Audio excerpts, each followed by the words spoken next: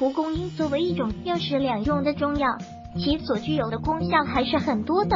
在夏季的时候，人们常常会将蒲公英用于消炎解毒，并且蒲公英药用还常常可以起到抵抗流行性感冒的作用。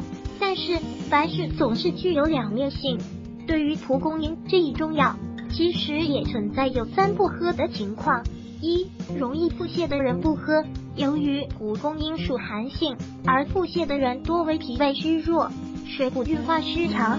如果再用寒性药物，更加损伤脾胃，从而加重腹泻。因此，这种体质的人一定要注意，在生活中尽量少喝。如果必要喝的时候，也要注意一次不能喝太多。二、低血压的人不能喝。众所周知，蒲公英中具有能够降低血压的成分，因此其在临床上能够起到降压的功效。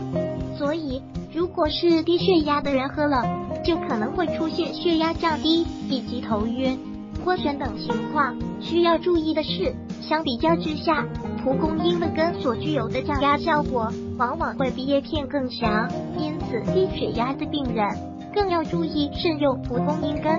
三、寒性体质的人同样也不能多喝。苏丽玲副教授解释，由于寒性体质的人体内的阴阳往往处于一个不平衡的状态，多为阳虚。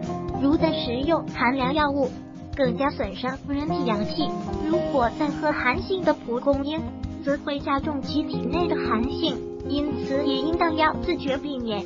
总之，上述就是对于蒲公英的三不喝情况的简单介绍。事实上，药物具有偏性，因此人们在日常生活中进行选择服用的时候，一定要注意把握，以免出现一些不必要的危害。